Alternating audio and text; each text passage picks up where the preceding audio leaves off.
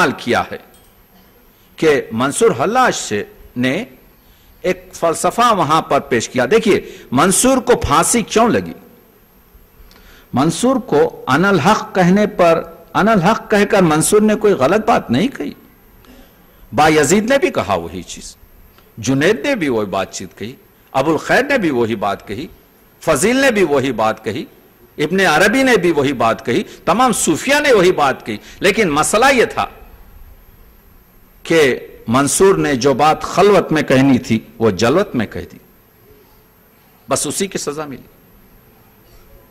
تو منصور سے گفتگو علامہ کی بڑی عمدہ بیان ہے۔ تو منصور سے علامہ پوچھتے ہیں کہ اس جوہر کا کیا راز ہے، جس کو محمد مصطفیٰ کہتے ہیں؟ عجیب سوال ہے۔ اس پہ عالم دین نے اسلم جیراج پوری صاحب نے انتخاب شدید کیا کہ حضور کو جوہر کے نام سے استفادہ کیا، لیکن اگر اس کو ڈیپ میں پڑھیں اور مسلسل پڑھیں تو آپ کو معلوم ہوگا کہ اقبال جوہر کے معنی نور میں استعمال کر رہے ہیں۔ اور وہ اگر حدیث کو آپ لیں کہ حضور فرماتے ہیں کہ سب سے پہلے میرا نور خلق ہوا، یا اگر وہ حدیث کو آپ لیں کہ ہاں، انہی کی وجہ سے یہ کائنات کو تو مطالب پیش آ جائیں گے، ہم عبد ہیں اور حضور عبدہو ہیں۔ حلاج نے کہا، عبدہو یعنی ذات قتمی مرتبت، از فہم بالا ترس، ہماری سمجھ سے باہر ہے۔ زاکے او ہم آدم و ہم جوہرس، اس وجہ سے کہ وہ آدمی بھی ہے اور وہ نور بھی ہے۔ دیکھ رہے ہیں آپ؟ حدیث میں بات کر رہے ہیں۔ عبد دیگر، عبدہو، چیزی دیگر۔ عبد ایک چیز ہے اور عبدہو دوسری چیز ہے۔ ما سراپا انتظار، او منتظر۔ ہم سراپا انتظار ہیں۔ وہ منتظر ہے، جس کے ہم انتظار کر رہے ہیں۔ عبدہو دہرست، وہ دہرس عبدہس۔ یہ جو دنیا بنی ہے، یہ پورے طفیل کائنات جو ہے، حضور کے طفیل میں اور حضور کے انٹروڈکشن میں بنی ہے۔ ماں ہمیں رنگیم، ہم رنگ و بو رکھتے ہیں۔ او بھی رنگ و بوس، نور کا کوئی رنگ نہیں ہوتا، نور کی کوئی بو نہیں ہوتی۔ یعنی عالم رنگ و بو میں جو انسان ہم رہتے ہیں، ہم رنگ و بو کی ایجاد ہے ابدہو، با ابتدا، بی انتہاس۔ حضور کی حدیث ہے کہ سب سے پہلے میرا نور خلق کیا گیا۔ اقبال اسی کی طرف اشارہ کر رہے ہیں کہ ابدہو با ابتداس، ابتدا کے ساتھ ہے، بی انتہاس اور آخر تک ہے۔ ابدہورا صبح و شام ماں کجاس؟ یہ جو صبح شام ہمارے لیے ہوتی ہے، وہ ابدہو کے لیے نہیں ہوتی، نور کے لیے نہیں ہوتی۔ کس، زے رمز ابدہو آگاہ نیس، کوئی بھی اس راز سے آگاہ نہیں ہے۔ عبدہو جس سر اللہ نیس، سوائے اللہ کے یہ اسرار، یہ رمز، یہ راز کسی اور کو معلوم نہیں۔ یہ بہت بہت مشکل وقت، جس کو علامہ اقبال نے بہت طریقے سے پہنچا میں پانچ یا چھ منٹ میں اپنی گفتگو کو تمام کر رہا ہوں۔ میں جانتا ہوں کہ گفتگو بہت سخت اور بہت خشک ہے، لیکن جاوید نامے کا کام بھی مجھے کرنا ہے۔ تو میں کہہ رہا تھا، اب ختم ہو گیا مسئلہ۔ اس کے بعد اقبال اور مولانا روم جاتے ہیں سیار زہل میں، وہاں پر دیکھتے ہیں کہ خون کے دریا ہیں، آگ ہے اور وہاں پر کچھ لوگ جل رہے ہیں۔ دو آدمیوں کو بتایا، جعفر از بنگال، صادق از دکن، ننگ آدم، ننگ دی، ننگ وطن۔ وہاں پر وہ جو انگریزوں سے سازش کیا ہوا تھا جعفر، وہ ہے وہ جو ٹیپو سلطان کے ساتھ جس نے بغا سازش کی، صادق ہے، تو اقبال کے پاس غداری وطن جو ہے بہت ہی مہلک چیز ہے۔ تو اقبال نے ان کو جلتے ہوئے بتایا جو غدار وطن ہیں، جو اسی لیے صادق کو، جعفر کو بنگال سے اور صادق کو دکن سے زحل میں رکھا اور یہ بتایا کہ دیکھو، ان لوگوں نے وطن فروشی کی ہے، ان لوگوں نے ہمارے ملک کو بیچ دیا خارجیوں کے ہاتھ میں اور فورنرز کے ہاتھ میں، ان لوگوں نے ہماری تہذیب ہمارے وطن، ہماری بھومی سے وہ کی۔ اس کے بعد اقبال جاتے ہیں آنسوئے جہاں جنت میں، تو وہاں پر شرف النساء شرف النساء، وہ عورت جس نے یہ وسیعت کی تھی۔ کہ جب میں مر جاؤں تو میرے خبر کا جو لوح تکیا ہو، اس میں میری تلوار اور میرا قرآن رکھ دیا جائے۔ اقبال اس مقصلے سے بہت اہم ہے۔ خلوت و شمشیر و قرآن و نیاس، اے خوشاں عمری کے رفت اندر نیاس، یہ کتنی خوشبخ عورت تھی کہ جو خلوت میں خدا کی عبادت کرتی۔ شمشیر و قرآن اور نیاز جس کا وظیفہ تھا۔ این دو قوت، حافظ یک دیگرن، یہ دو چیزیں ایک دوسرے کی حفاظت کرتی ہیں، شمشیر اور قرآن۔ کائنات زندگی را محورن اور زندگی کا جو کائنات ہے، جو جوہر ہے، اس کا سینٹر یہی چیزیں۔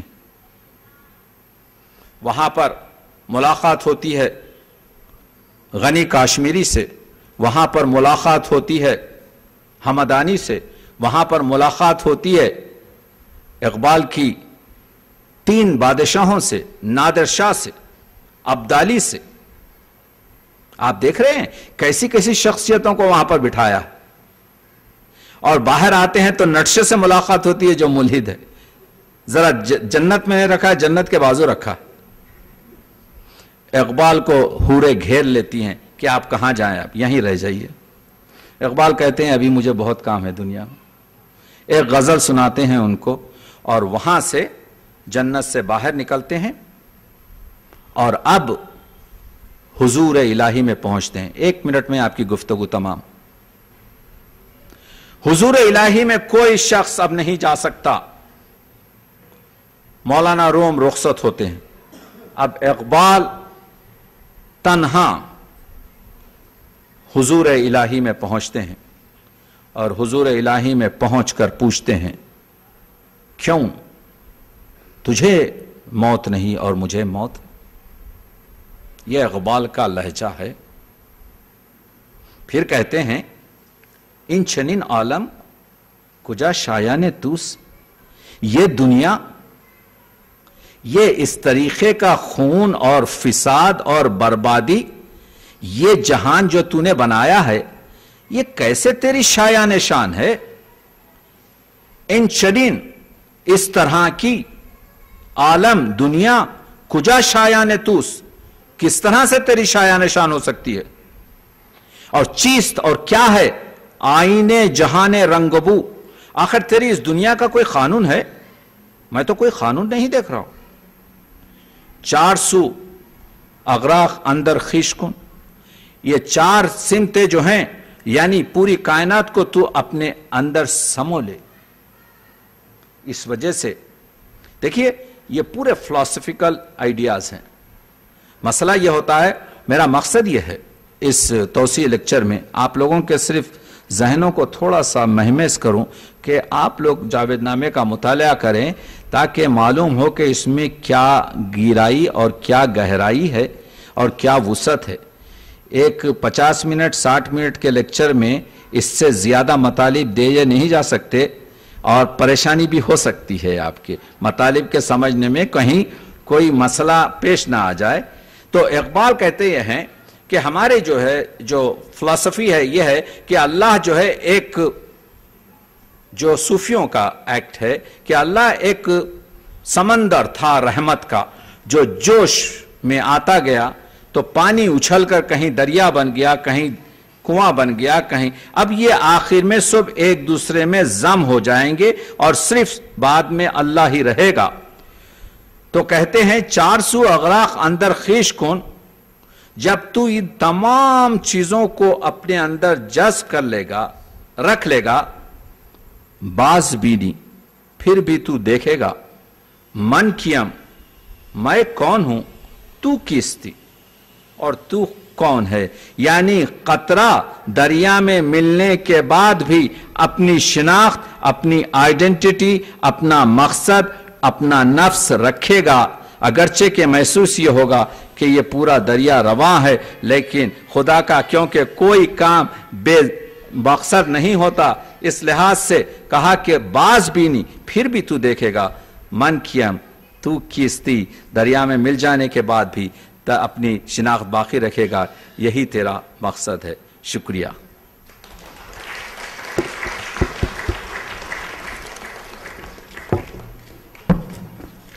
بہت بہت شکریہ، جناب تقیابری صاحب۔ میں سمجھتی ہوں، جیسے انہوں نے کہا کہ جاوید نامہ پڑھنے کے بعد ہی بہت ساری باتیں سمجھ میں آئیں گی، لیکن انہیں، انہوں نے کوزے کو، سمندر کو کوزے میں بند کرنے کی کوشش کی۔ جاوید نامے میں اتنی گہرائی ہے اور اتنی گہرائی ہے کہ وہ پچاس منٹ میں سب کے سامنے رکھنا بالکل ہی مشکل، بلکہ ناممکن کام ہے۔ لیکن آپ نے بہت اچھی طرح سے اس کو پہنچایا۔ ہم تک جن لوگوں نے جاوید نامہ نہیں بھی پڑھا ہے، تو ان کو بھی کافی ساری باتیں سمجھ میں آ گئی اور اس کی تشریح بھی ہو گئی۔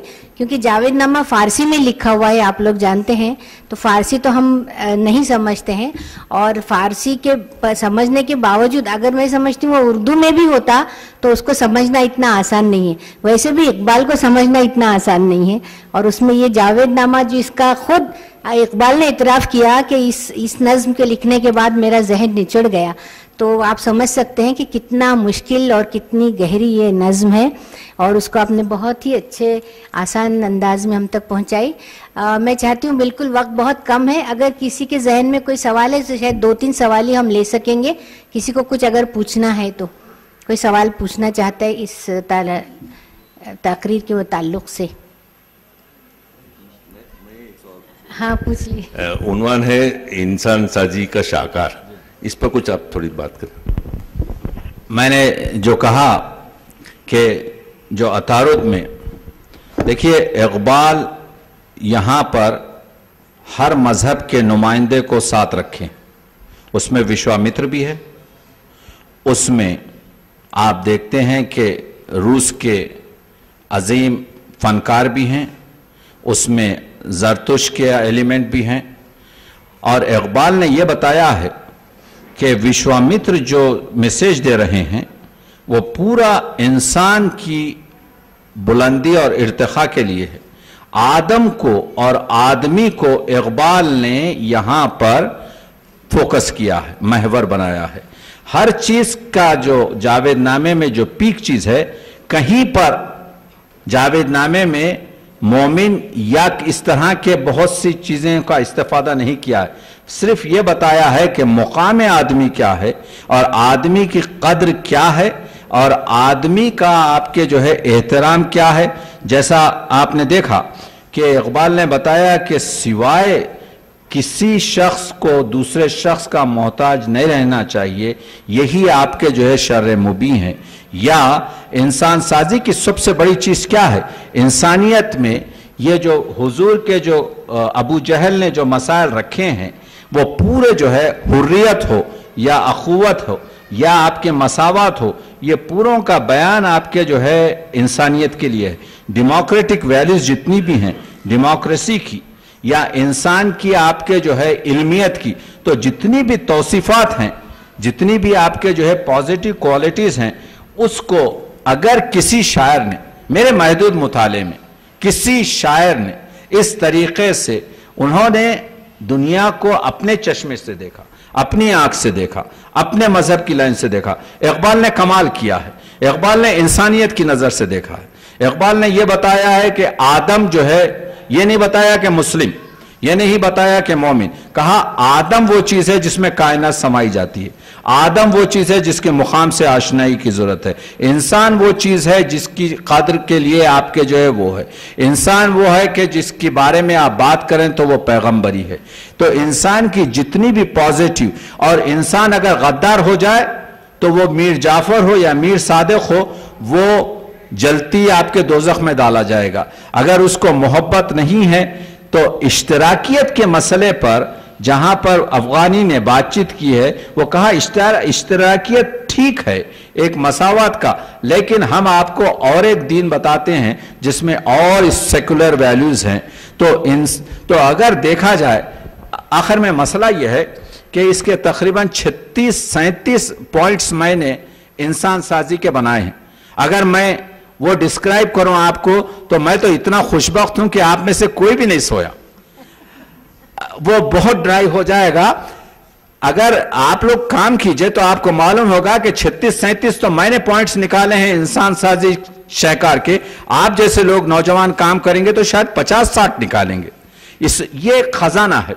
اقبال کے میرا میرا مقصد یہ ہے کہ اس میں اہم چیزیں تین ہیں۔ ایک ہے حریت، جس میں پوری چیزیں آتی ہیں۔ ایک ہے مساوات، جو امیر اور غریب میں بھی ہے اور آپ کے زن اور مرد میں بھی ہے، عورت اور مرد میں بھی ہے، ایک آپ کے آقا اور غلام میں بھی ہے۔ اور تیسری چیز آپ کو جو ہے، اصل میں یہاں پر ظالموں کو ایک جگہ جمع کیا گیا ہے۔ یہاں پر عالموں کو ایک طرح جمع کیا گیا ہے۔ یہاں پر جن لوگوں نے خدمت کی ہے نٹشے کو اقبال نے بہش کے اطراف رکھا ہے۔ اسی وجہ سے وہ تو آپ کہیں گے وہ ملحد تھا وہ کیا کر رہا ہے بہش کے اطراف؟ بہش میں نہیں کیا بہش کے اطراف تو ہے، ٹھنڈی ہوا میں ہے۔ تو اس کا مطلب یہ ہے کہ اس نے جو پازیٹیو آپ کے آئیڈیاز دیے ہیں، انسان سازی جو ہے، انسان کو پوری طریقے سے جلا دینا۔ انسان کے اوپر جو غبار آ جاتا ہے مختلف چیزوں کا، جیسا اقبال نے شروع ہی کیا اس کو کہ شیخ جو کہہ رہا تھا کہ مجھے یہاں پر کوئی انسان نظر نہیں آتا، اور مولانا روم نے کہا نظر بھی نہیں آئے گا کیونکہ انسان یہاں نہیں بستا۔ اس نے کہا کہ نہیں، میں معلوم کرنا چاہتا ہوں۔ تو یہ پورا جو اٹھارہ سو شیر کا جو سفر ہے، اس میں اقبال نے شاید چھتیس، سینتیس یا شاید اس سے زیادہ بھی جو پازیٹیو عنصر ہیں، اس کو آفاقیت سے ملا کر بتایا ہے کہ یہ چیزیں جو ہیں آپ کے اسلامیات میں داخل ہیں، یہ چیزیں آفاقیات میں داخل ہیں اور قرآن مجید سے بہت استفادہ کیا ہے۔ تو اس طریقے سے میں سمجھتا ہوں کہ اگر آپ اس کے ترجمے پر، ترجمہ تو نہیں ہو سکتا کسی چیز کا، ترجمانی ہوتی ہے۔ تو جو ترجمانی ہوئی ہے اقبال کے اشار کی، اس سے اگر استفادہ ہم کریں، تو کچھ تو اخبار کو سمجھنے کی کوشش کریں گے۔ یہ کتاب بڑی مشکل کتاب ہے۔ اور یقین مانیے کہ میں نے سالوں اس پر آپ کے جو ہے کام کیا ہے اور میری آپ کے جو ہے اور ایک تصنیف آ رہی ہے۔ اس میں آپ دیکھیں گے میں نے وہ پورے پوائنٹس بتائے ہیں کہ کہاں پر کہاں پر کس طریقے سے اور کس کس مذہب سے کیا کیا چیز لی ہے اور کس طرح سے گلدستہ بنا کر پیش کیا ہے اور پھر اس میں اپنا رنگ بھرا ہے۔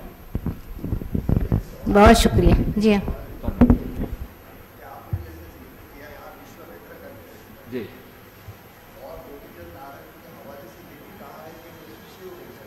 شیو جی کو مہاراشٹر۔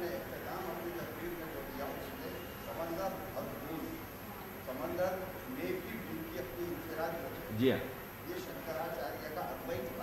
اچھا۔ اگر اس سے اگر جوڑا جائے تو وشوامتر کی فلاسفی ہے جو شیو جی۔ تو ہمارے جیسے جو پڑھنے والے ہیں وہ سمجھنا چاہتے ہیں اگر ہم اس کو شیو کے ریفرنس میں اگر سوچتے ہیں جی۔ اس سے نتائج الگ نکلتے ہیں۔ جی۔ اور وشوامتر کے ریفرنس میں اگر سوچتے ہیں جی۔ دونوں کا مطلب الگ ہے سوچنے کا ڈھنگ الگ ہے۔ تو آپ کے اس تعلق سے اگر آپ کچھ روشنی ڈالیں تو ہمارے سوچنے کے صحیح بڑھ جائے اس پر کئی آپ کے ہمارے جو اقبالیات کے علماء ہیں، ان سب نے یہی کہا ہے کہ یہ وشوامتر ہیں اور اقبال کے زم... اقبال نے بھی اس کا نام وشوامتری رکھا ہے، اسی لیے اقبال نے اس کا نام جہاں دوست رکھا ہے۔ متر کے معنی دوست ہیں۔ یعنی اس جاوید نامے میں جہاں پر اشار میں اس شخص کا وشوامتر کا دوسری دو تین جگہ جہان دوست کے نام سے آپ کے استفادہ کیا صرف دو بعض جو کیونکہ میں چاہتا ہوں کہ توسیع لیکچر میں دوسری چیزیں بھی آ جائیں، لیکن جہاں تک کہ جیسے محمد ریاض صاحب کی بہت عمدہ کتاب ہے، اقبال اکیڈمی کے تیس سال پہلے کتاب، اس میں انہوں نے سو فیصدی کہا ہے کہ اگرچہ کہ آپ کے دوسرے بعض افراد کہتے ہیں کہ یہاں پر وہ جو سانپ سر پر آپ کے بیٹھا ہے، تو اس سے وہ لوگ آپ کے میتھیالوجیکلی اس کو کنیکٹ کرتے ہیں کہ یہ شاید شیور مہاراج ہوں۔ لیکن ہم تو یہی سمجھتے ہیں وشوامت ہے اور ہم نے اسی پر آپ کے جو ہے تکیہ کیا ہے کہ یہ قنوج کا آپ کے جو ہے راجہ تھا اور یہ رام چندر جی کا اتالیق تھا۔ اور اس کا جو ہے یہ فلسفہ جو تھا، ممات اور حیات کے فلسفے سے بھی اس کا تعلق تھا۔ یہ ابن عربی وغیرہ تو بات کی ہماری بہت تو اسلامی بات کی ہے، لیکن بھکتی اور ان چیزوں کا جیسا آپ نے شنکر آچاریہ کا کہا، یہ فلسفہ بعد میں ہم نے لیا ہے۔ آپ کے جو ہے فوز الحکم ہو یا آپ کے فتوحات مکیہ میں بھی ان کا جو ہے ریفرنس ملتا ہے۔ میری نظر میں وشوامتر ہے۔ لیکن میرا یہ فرض بنتا ہے کہ اگر کہیں پر اگر لوگوں کا اختلاف ہو تو ان کا بھی آپ کے جو ہے ظاہر کر دوں کہ لیکن یہ خود دیکھیے کہ نو سخن ہندی جو اس نے بتائے ہیں، وہ پورے انسان سازی کے ہیں کہ اس دنیا سے انسان کو کیا ہوتا ہے، بیداری دل کی وجہ سے کیا ہو سکتا ہے اور انسان جو ہے بے نقاب کس کو دیکھ سکتا ہے، یہ پورے کوالٹیز کو جو ہے، اگر آپ جمع کریں تو آپ دیکھیں گے کہ درجنوں کوالٹیز کو اقبال نے ایک تمثیلی نظم میں پرو دیا ہے۔ کیونکہ اتنی شدت سے پرویا ہے اور ہر ایک آپ کے نگینہ خود ایک ہیرا ہے، آپ آسانی کے ساتھ گزر نہیں سکتے۔ اور علم اتنا زیادہ ہے اس میں کہ میں سمجھتا ہوں کہ اس کے لیے تو پانچ لیکچر بھی کم ہے اور ہر لیکچر کے بعد ہم کو آپ کے آرام کی بھی ضرورت ہے۔ جی ہاں۔ آپ نے کہا میں کہ جاوید نامہ لکھنے سے پہلے تین لوگوں سے متاثر تھے علامہ اقبال۔ میں سمجھتا ہوں کہ علامہ شبلی کا جو الکلام تھا اس سے بھی علامہ صاحب نے استفادہ لیا ہے۔ اس زمن میں آپ کچھ بولیں گے؟ دیکھیے یقیناً علامہ شبلی نعمانی کے تمام تصانیف سے اقبال بہت امپریس تھے۔ اور کثیر المطالعہ شخصیت تھے۔ لیکن کیونکہ ہمارے پاس کوئی ریفرنس نہیں ہے اس وجہ سے میں نہیں کہہ سکتا، یہ جو علم ہوتا ہے، یہ علم تو دہرایا جاتا۔ ہے حضرت علی کا خول ہے کہ اگر دنیا میں باتیں دہرائی نہ جاتی تو کبھی کہ ختم ہو گئی ہوتی۔ تو ہم سب دہراتے ہیں۔ People will repeat it research کے معنی یہ ہے کہ کوئی چیز ہمارے پاس تھی، ہم پھر سرچ کر رہے ہیں۔ ٹھیک ہے؟ تو یقیناً ان کے ذہن میں یہ چیزیں ہوں گی۔ لیکن میں نے غالب دہلوی کے میراج نامی کے لیے اس لیے کہا کہ غالب نے اسی آپ کے مشتری پر اپنے اجداد کو رکھا تھا۔ نوائے غالب بھی اقبال نے مشتری میں ہی رکھی۔ اس کے علاوہ جو نوائے غالب تھی، اس کے جو اشار ہیں، بیا کے قائد آسمارا بے گردانی یعنی آؤ تاکہ یہ جو دن و رات کے جو قوانین ہیں، اس کو بدل ڈالیں۔ یہ جو لہجہ جو ہے، یہ پھر ان کے میراج نامے میں ملتا ہے۔ تو میں اس سے یہ بڑے اعتماد کے ساتھ کہہ سکتا ہوں کہ علامہ اقبال نے فارسی کا میراج نامہ جو غالب کا ہے، جو دو سو ترپن شعر کا ہے، میں نے ایک کتاب غالب پر غالب حمد و نعت و منخبت بھی آپ کے جو ہے آج سے کئی سال پہلے وہ کی ہے۔ ان کے کلیات میں، اس میں اس کا ذکر کیا ہے۔ تو اقبال گلچین تھے، خود کہتے ہیں کہ میں نے اس گلستان شعر و سخن سے بہت کچھ حاصل کیا ہے۔ لیکن کیونکہ خود انہوں نے اپنے قلم سے نہیں لکھا، میں اس کی ضرورت نہیں کر سکتا، مگر ہو سکتا ہے آپ کا خیال صحیح ہو۔ شکریہ تقی صاحب۔ میں سمجھتا ہوں یہی آخری سوال ہے، ہم سوال جواب کا سلسلہ یہیں ختم کرتے ہیں۔ اور آگے کی کارروائی شجاعت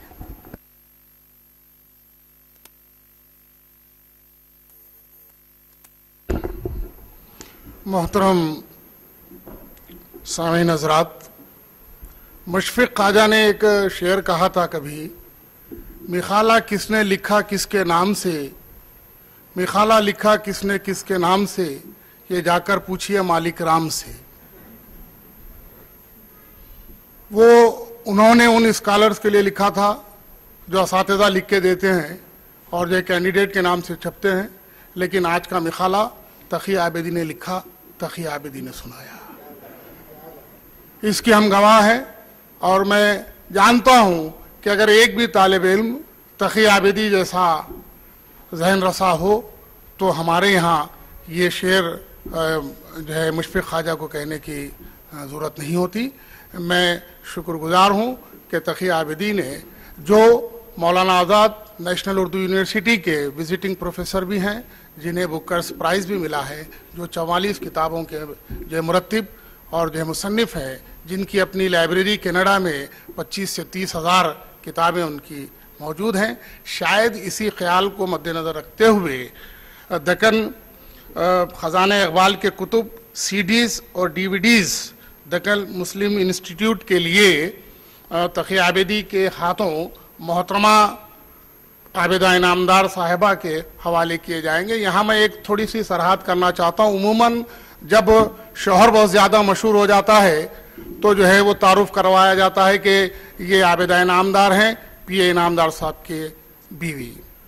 لیکن میں سمجھتا ہوں کہ یہ دونوں کے لیے یہی کہا جا سکتا ہے کہ یہ عابدہ انعامدار ہیں پی اے انعامدار صاحب کی بیوی، یہ پی اے انعامدار صاحب ہیں، عابدہ انعامدار کے شوہر ہیں۔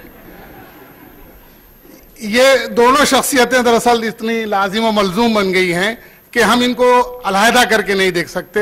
ویسے بھی آئینے میں آدمی جب اپنا عکس دیکھتا ہے تو اسے دوسرا چہرہ دکھائی دیتا ہے۔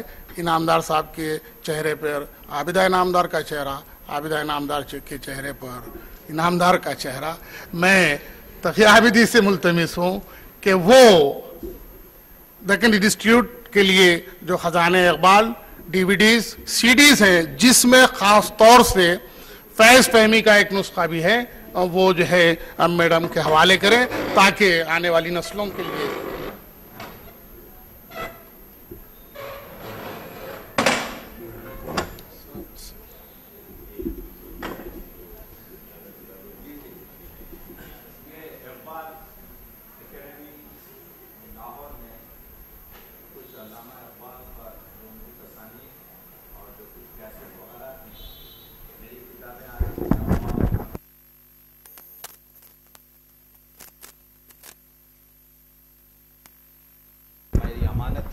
در حقیقت میں امانت جو ہے پہنچا رہا ہوں۔ یہ کتابیں، فیض فہمی تو بہرحال میری کتاب جو تصنیف اور تعلیف ہے، لیکن جو علامہ اقبال پر کتابیں ہیں اور کیسٹس ہیں، اور کوشش یہ رہے گی، میں وہاں کے ڈائریکٹر صاحب سے کنٹیکٹ میں ہوں کہ زیادہ سے زیادہ کتابیں علامہ اقبال کی جو لکھی جا رہی ہیں اور جو بڑی عمدہ آپ کے، اس وقت علامہ اقبال پر تقریباً چھ ہزار کتابیں ہمارے پاس موجود ہیں۔ دنیا، اردو ادب میں کسی شاعر پر اتنی کتابیں نہیں ہیں۔ چھ ہزار میں سے چھ سو، سات سو کتابیں تو انگریزی میں ہیں۔ تو یہ میرے لیے باعث عزت ہے کہ میں آپ کی خدمت میں نامدار صاحبہ یہ چیز پیش کر رہا ہوں۔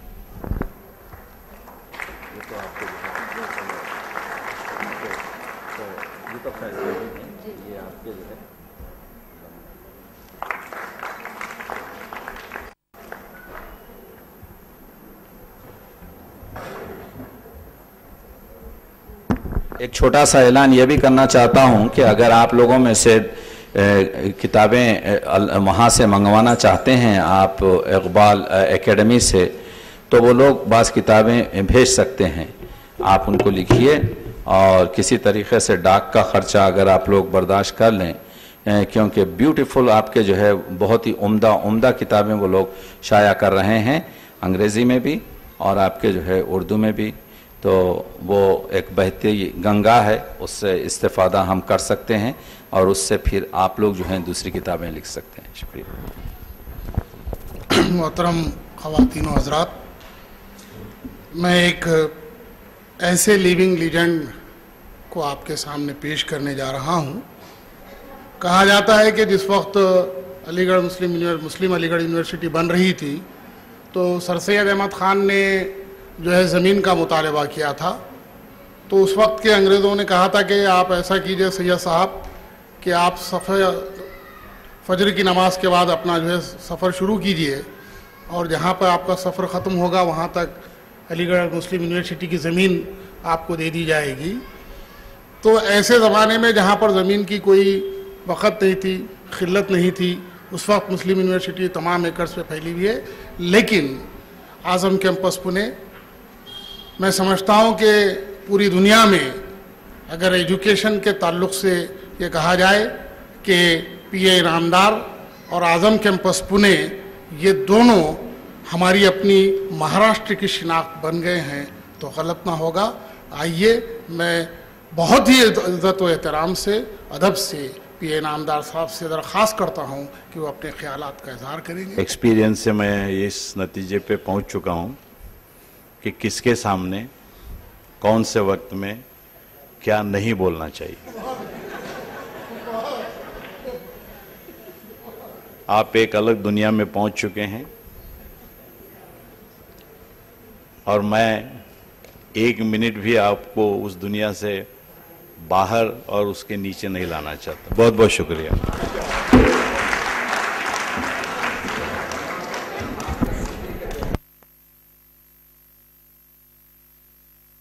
کہتے ہیں کہ دنیا میں وہ بچہ بہت معزز سامعین اسی کو کہتے ہیں ہنر سخن گوئی۔ میں میکدے کی راہ سے ہو کر نکل گیا ورنہ سفر حیات کا کافی طویل تھا۔ میں ممنون آپ کا اس کو کہتے ہیں گفتگو۔ اور ایک ہی جملے میں یہ پورے ایک گھنٹے کی گفتگو کو انہوں نے آپ کے جو ہے کلین بول کر دیا کہتے ہیں کہ وہ بچہ بہت خوبصورت ہے جو اب تک پیدا نہیں ہوا۔ وہ لفظ اس سے زیادہ خوبصورت ہے جو نہیں کہا گیا، جو پی اے نامدار صاحب نے وہ الفاظ کہے، جو ہم ہماری سماعت تک پہنچے۔ آئیے کاریہ کرم کے مطلب جو ہے پروگرام کے آخری حصے کی طرف آتے ہیں کہ جب اقبال کی بات ہو اور ترانہ اقبال یا اقبال کا کلام نہ سنا جائے، یہ ہو ہی نہیں سکتا۔ لہٰذا میں بہت ادب کے ساتھ ممتاز پیر بھائی سے درخواست کروں گا کہ وہ جو ہے پیشکشی کلام اقبال کریں تاکہ